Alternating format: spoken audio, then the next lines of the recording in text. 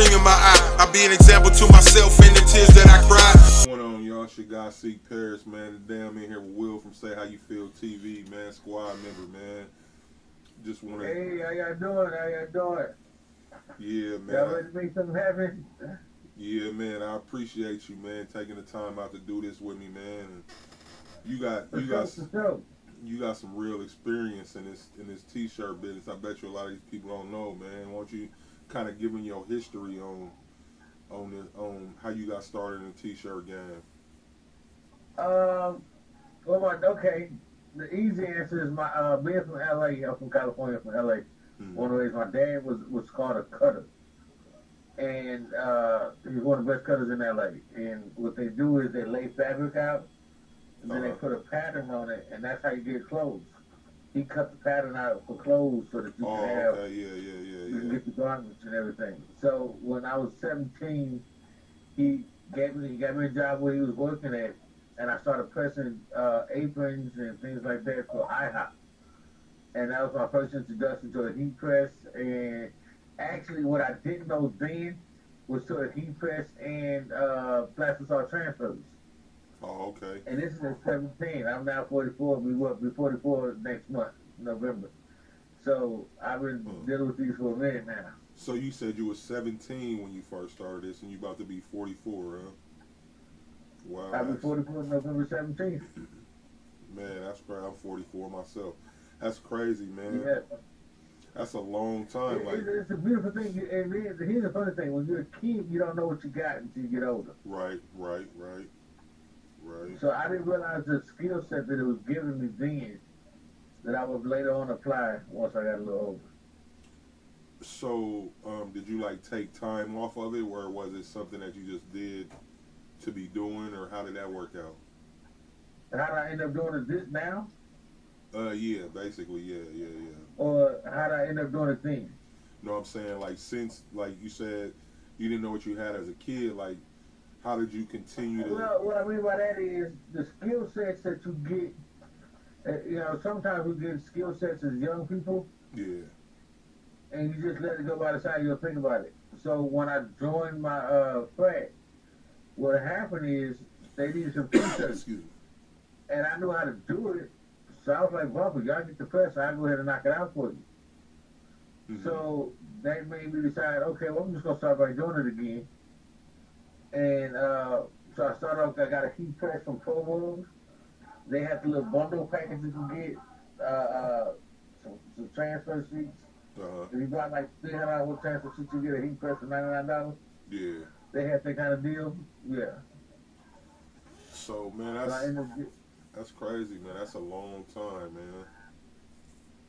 yeah, it's, been a long, crazy ride, man. I enjoy it. I think that uh, the greatest part about doing it is taking something that has absolutely nothing on it and being creative and creating something that no one else could do or no, no one else has done Period. Period. and putting a stamp on it. You know what I mean? Yeah, man. Because like you got a blank T-shirt, anybody can go get a blank T-shirt, Yo. but now anybody can put anything creative on that blank T-shirt. Right, right. So, have you ever did anything like a clothing line or anything? Uh, I've toyed with the idea of a clothing line. I have not done it primarily because uh, it's a lot into it, and it takes you know I have to figure out what kind of shirt I want to do. Like now, I have the soft style shirts from Gildan, Uh huh. and those are the closest thing you might get to a Bella canvas, in my opinion. hmm And I like the next level too, but uh, I think the soft style is my favorite. Uh huh. So now I might toy with it a little more. And since I do, I do some graphic design. I do a lot for other people. Uh-huh. For me, my designs I'm really particular over, which means I don't like them. man, I I know. don't like I I know. for myself. I know. I know exactly what you mean, man. yeah, so it's like, uh, do I want to do this? And then it's like, if I do it, does it look good? Does it not look good? So you don't want to be bothered. Right. And I can't find a graphic designer really that's just ready to sit down and put something together. Yeah. Yeah. I understand that too, man. So you said you like the Gildan soft style. Those are like what a four and a half Yeah. ounce or something t-shirt, right? You said say it again. Those are like a four and a half ounce or something. Yeah, four point five ounce. Uh, yeah. I like four four point five five ounces, or something like that. The reason why I like them is because they're softer than the regular Gildan. Yeah. You get the softness of like a next level of Bella canvas, with the price point of a Gildan. Yeah, actually, um, the boxes you saw in the back here, that's an order I had done. Some hoodies and t-shirts and long sleeve shirts, and now I'm doing some backpacks. But in that Yeah. order, I just sent them. I actually used those soft styles. Um, for a little dance crew, so I like them. For me, like for me, they're a little thin. I don't, I don't like my preference. I like shirts that are a little bit thicker, but they were actually they feel real good. Like if you're looking for something light to go work out in and stuff like that, I thought it was I thought it was a great T-shirt for something like that. I want. See out here. I don't know how they will respond. I think they'll probably respond to the all styles really well Yeah. Because they haven't experienced those out here. Because you don't get them in Nashville. Oh, really? No, they don't have all styles out here. They don't have Huh. all styles. They don't have it. They don't have anything we got back here on the West Coast. Huh, we go on the West. Coast and you get into Nashville. Yeah. And that's the great thing about uh, if I you know finding different connections and get different shirts Yeah. and trying them out. I think that that is something that everybody needs to do. You should never just stick to one style without trying the rest. Yeah. For sure. For sure. You know. And the one thing I would tell people, is, you know, in this business, you got to be versatile. You can't just be if you're doing t-shirts. Uh, uh, uh, uh, Mike T said it earlier in one of his newest videos. He was talking about doing other products like I do shot glasses. I do Those are the sublimation shot glasses. Yep, these are Yeah. sublimation shot glasses. I got these from uh, where did you get from? Coastal Business. Oh yeah, coastal. Yeah, I'm familiar with them. Yeah, I got those from Coastal, and you know, you know, you gotta be able to do everything. Yeah. And I'm gonna tell you, I learn stuff new now. Like when you go, you know how you print out if you go like, do you do shot glasses and socks and stuff? Yeah, I'm getting into it. Have you done it before? Yeah, I'm. I've done the socks. Um, I just got some regular shot glasses that I'm about to introduce, but we just been using like glitter and different stuff on those. But I was um. Like when you when you print these out, the template, Uh huh. like it's better to print it out. Like when they give you, they give you a template when you buy it. Uh huh. So it's better just to print that one sheet out. Like I used to take the design and put it on an eight and a half by eleven sheet to try to stretch it out. Yeah. But to be totally honest, you'll waste more paper doing that. Just print it out on that one sheet and call it a day. Some good advice right there. I'm sure there's a lot of people who Yeah. didn't know that, who didn't even think about that. So what do you that one sheet out. They want to try to save paper, and I know the paper's not that expensive. You got to look at overall cost versus time versus all of that. You know what I mean? Yeah. So, man, actually, man, I'm. I would like to see a, uh, you do a video on those on your channel sometime when you got some time, and I'd like to see the process of it. We're doing the shot glass. Yeah, yeah, yeah. Yeah, I, I'm, I'm actually ready to shoot several videos tomorrow. I just go ahead and throw that one in there too. Yeah, right on, Okay. right on. Because I do those actually with the conveyor of Yeah, man, you know, I actually I have one of them, and I got one in my garage, man. I had for years that my mother-in-law gave us, and So do you? I you don't didn't. like I've. I've never used it. I didn't know what I had. I just, you know, like I just really got turned on the sublimation last year, man. I'm a pup in this. You know, I I started out with like I got doing this three years ago. I bought all my stuff three years ago or so, but I just really got serious with it like in the last year. I started. Um, I started back fully doing it full time again. Cause I always periodically did this or did that. Yeah. Uh, I, but full time, just going all the way in, about 11 years, 10, 11 years ago, and I, I ended up just going all in. Yeah. So when I started, the ideal of sublimation on a small scale Mhm. had just really started. Yeah, yeah. Like when I started doing sublimation, to be honest with you, I was one of the only people in Nashville that did sublimation. Uh huh. You know, it wasn't like it is now. Uh, so I made the mistakes with it. I've done, you know, I figured out how to get it to tweak. Uh, the seven, I don't, I don't do the Ricoh system. I just think it's too expensive and unnecessary. Uh huh. So I prefer the Epson convert system. What uh, the I think seventy-seven twenty or something? I have, I've done the 7710s, 7720s.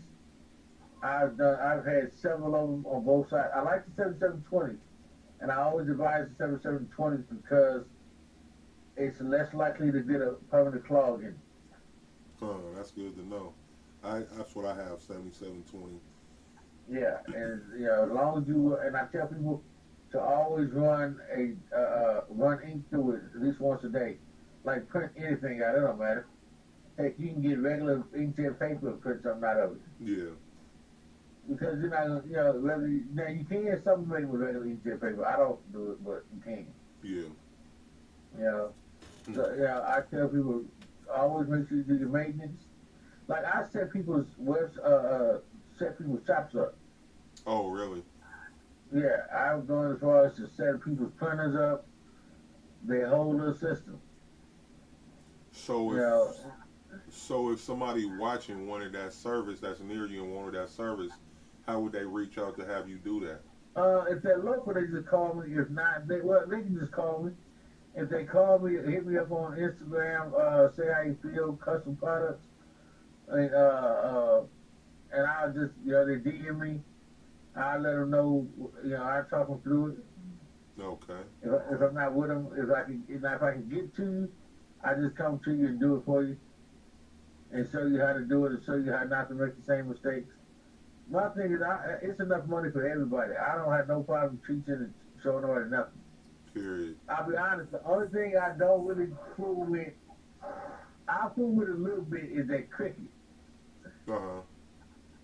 I, I I know very little about it. I got uh I have I don't like the software Yeah, yeah. I've heard that before. because the software is so generic. It's great for those that I tell people the Cricut is for the novice. Uh huh. If you really about this this craft, I, I think you got to go at least a silhouette at bare minimum because you can you know the designs are closer to Photoshop, Illustrator, uh, Corel Draw, things like that. You know, So do you Yeah, use somebody- a cameo cutter? do I use what? Do you use a silhouette cutter? Oh, I have four. I have all Four. four. oh, okay. Okay. Yeah, yeah. That's uh, I went with that one because of the versatile ability of it. You know, like the like the, the Cricut, they say you can cut leather with it and all that, but I don't cut fabric. Yeah. I don't, I have no need to cut fabric. I don't see this. I don't. Right, right, So right. because of that, I don't use it. I think I in they in the silhouette they say you can cut fabric too, but I never done it. I think ultimately I might eventually one day go up to a Graphtec. Oh yeah, those are nice. Yeah, but I just haven't. No need. You know, you can do everything you need with a silhouette. Yeah. So The thing about this business is you don't. You really can't start this business with five hundred to five fifty. You know what I'm saying, and, and be able to survive. I'll be honest with you. I have a my heat press is a sixteen by twenty. I got off of Amazon. I have two of them. No, I have three total. But the one of my main ones I use is a sixteen by twenty. I got off Amazon ten years ago. wow. Yeah, you hear so many horror stories about Amazon stuff, and then I've also heard stories like this. That's yeah, a trip. It, it's, I got a 15 by 15 off Amazon that went out six months after I used it. Yeah, So it's just based off of your luck, yeah, you know. But if you're making money and you're just trying to get into the business, you grab what you can grab, and you you know when you do your first couple of orders, you put back enough money that if you have to buy another one, you just buy it yeah, yeah. until you save up enough money to go get the one you really want. Because I've known people who got uh, the Stahls' uh, uh, uh, Fusion, which Uh-huh. I still want one. But I've heard horror stories about, oh, you know, it went out. You know, the computer, the motherboard went out on it. Yeah. It's a straight computer. What do you think gonna happen? Yeah. Right. Right. Right. You know, so it, it, it's all of this stuff is trouble. It's all about just starting your business. So You know, go ahead. I'm sorry. no, go ahead. Now I was gonna ask. So, what would you tell the newbies? Like, what? Just get a heat press and a and a, and a cameo and get going, or what? would- What would what would you suggest for somebody just starting out today? If somebody just started today, I would ask what's their budget. hmm So let me say it this way: if they started, say if they came and said, "I have three hundred dollars,". I would tell them to buy at least a fifteen by fifteen heat press, and at bare minimum a eight and a half by eleven printer, Epson, mm-hmm. and start advertising. A fifty dollar printer, you can get a fifteen by fifteen for about two hundred dollars. You got a printer for fifty, and I'll put fifty dollars in to uh, twenty five dollars in to get some shirts from uh, what's that store, Goodwill, to Uh, practice on. And Yeah. I would uh, or or I would take that last fifty, get about another ten, and order a. Uh, Oh, I, I wouldn't get the printer. I would just get the press and take that last money and order a, uh uh marketing kit from uh, Transfer Express. so, what is the marketing marketing kit from Transfer Express? Kit from Transfer Express is going to give you different types of transfers, the Google transfer, all these different transfers you can play with. Oh, okay. And what that's going to do is allow you to, you take the rest of your money and, and, and, and print them. You take the rest of your money, get some shirts, make samples, Mhm. and then you just take larger orders. You take the orders that are like 25, 50 pieces, or even if you took less orders because you can go to someone like F and F and M Expressions and get cheaper transfers, yeah. you can do that.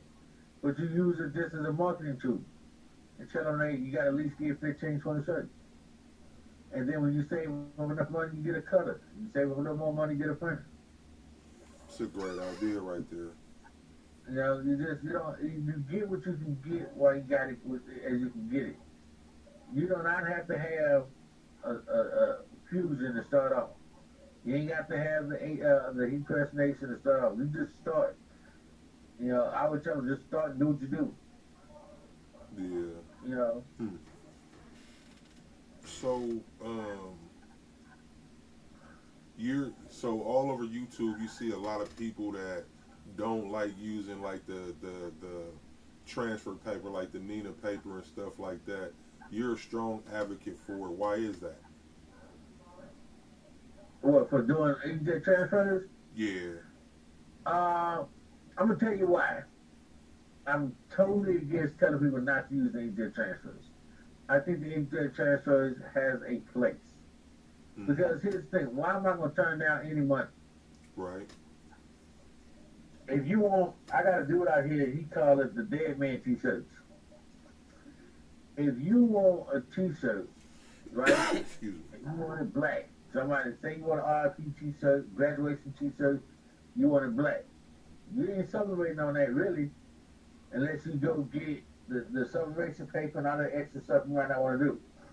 Mm-hmm. Because people don't want to pay. You know, and all the extra stuff costs, you're tacking on to your overall cost of your product. Right. I could take an inkjet transfer, say eight and a half by eleven, dollar fifty cent transfer, two dollar transfer sheet. Put some ink on it. If you get your ink cheap enough, my ink it'll probably run me about if it's eight and a half by eleven, about 10, 15 cent, twenty. Put it on the shirt. I got a viable shirt that you're gonna wear and you're gonna like. It might be a little thick, but Right. it got the job done. Right. Right. Right. Right. Why am I gonna tell you, oh, I don't do it, I don't like it? It ain't about me. Right. And the mistake that people make is they mistakenly think it's about what you like. I, I I'll tell you a story. I lost a uh, uh, uh, an associate behind not wanting to use inkjet transfers. They wanted a shirt with their logo on it.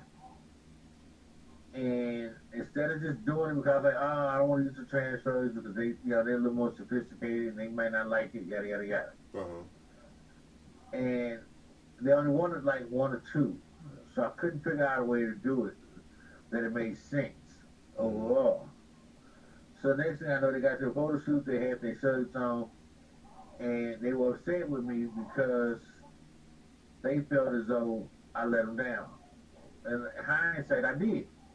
Like they said, I didn't ask you for anything special. I asked you to put my logo on the shirt. How you did it didn't matter.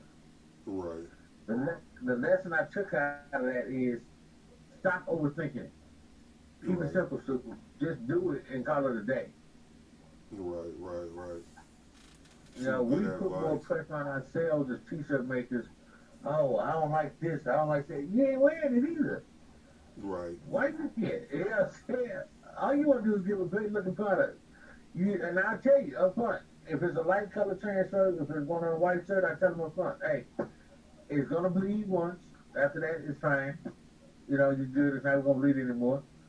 And they don't get no lighter than what it is after you wash it. If it's a dark transfer, I tell them I had I've had transfers for seven years and no problem. You know, if it does bleed, it's gonna only gonna bleed that one time, and that's it. Mm-hmm. So, and I move on. And they, like I did today, I did uh, some Halloween shirts. Somebody's going to, you know, they're going, uh, it's lean or something. I don't know what they're doing. They had a Sprite bottle and a medicine bottle on the shirt. Oh yeah. Just crazy. Yeah. I was like, okay, Yeah. that works for you. You know what I'm saying? I, I just want the check. Give me my money. Yeah. Thank you. You know what I'm saying? Yeah. And they, they love the shirt. It, it, it was great. You know what I'm saying? And that's what it's about. Give the customer what they ask for. Right. By You know, if that's the inkjet transfer, then hey, give me that inkjet, run that inkjet transfer. They brought me the shirt and I still charge them fifteen dollars. Yeah. You know, I've had people bring me a shirt for inkjet transfer, front back. They brought me the shirt and I still charge them thirty bucks. Yeah. You know, Yeah. so you gonna miss that money over your personal opinion. Y'all get good money out that way, man. I was talking to Mike, man. Y'all make good money. T-shirts cost a little more out that way, man. No, because I tell you the truth, it ain't that. Because there's a lot of people doing them, and the average price is still 15, you know, 20, 15, 20 bucks. Yeah. I tell you pay you're not pay- I tell people all the time, you're not paying me to do a shirt, you're paying me to do an experience. Right. Right. You know, you're paying me for what I know, you're not paying me for what I'm doing. Right. If you can do it, go do it. Yeah, and because I don't- my prices are that way because I'm not going to deny myself. Yeah, I heard that. Here's the thing.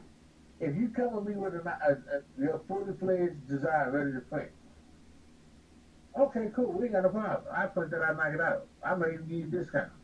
Mm-hmm. if I have to do your design, and then I gotta create the design, send it to you for the okay.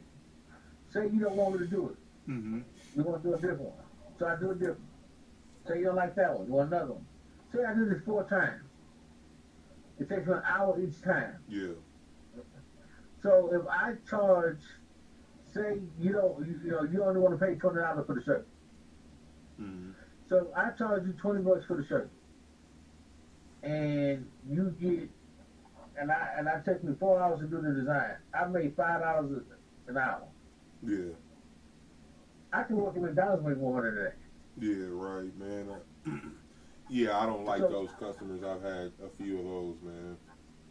So as a t-shirt designer and a t-shirt maker, you have to decide what your time is worth, and tell people. And that's the problem with the t-shirt business right now. So many people have regular jobs and making t-shirts as a side hustle. Mm-hmm. Without the dream or aspiration of becoming a full-time business. Right. So they're charging according to the fact I don't have the overhead that somebody else might have. I only have to charge ten dollars because it only cost me two dollars, three dollars to make the shirt. Right. So now what you're doing is you're messing up the market. Versus charging accordingly and making sure you account for your time and your situation as well. Right. See, that's the thing that we have to look at. That's the thing we have to teach the new people coming in. Make sure that you uh, you understand every aspect of it. It's not about oh I made fifteen dollars. No, you really didn't make anything Right. because you didn't pay yourself. Your Right. business still has to grow, and you ain't paid yourself yet. Right. You know, you are an overhead. You are an expense. And when you start looking at it that way, then the prices will go up. The prices will go where they need to go. Because Okay, right on, man. I appreciate you. We might have to. We, we got to talking, so we I might have to hit you back up to finish off this interview, but because all a oh, lot Oh, of this stuff, I ain't about to give them. I ain't about to give them the free game. We were just talking about. no, don't give me everything. Don't give everything. yeah, Yeah, so. yeah. But man, I So appreciate do you, man. For sure, man. I'm glad we got to talk, man. Appreciate you. Uh, I For hit you sure, up. man. I appreciate the opportunity. Give me a on. holler. I will. Right on. Later. All right, brother. Say. You too. 12 going apparel, the dream in my eye. I be an example to myself in the tears that I cry.